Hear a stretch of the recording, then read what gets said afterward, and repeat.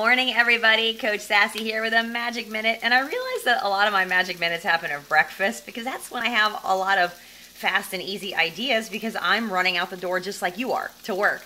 So today I wanted to share with you a different breakfast that I am making. I really um, enjoy eggs. I eat eggs almost every single day, but I will be honest, sometimes I get tired of the way that I'm making my own eggs. Well, I'm in a Facebook group right now where we're sharing tons of like fun, clean eating ideas and recipes. And one of the recipes yesterday that someone had put out there really wasn't a recipe, it was just a picture of an awesome, awesome breakfast.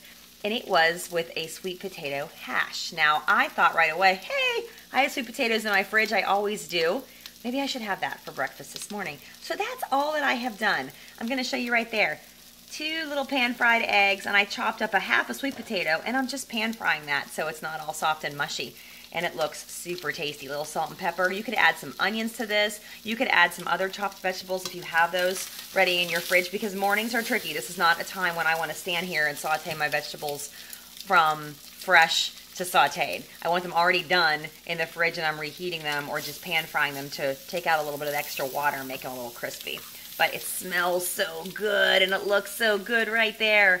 Half a sweet potato, two eggs, and it is a super breakfast with a great complex carb and a little bit of protein for your morning. And I hope this starts off your day on an awesome note. That's the Hanak Dynamic, and I'll see you.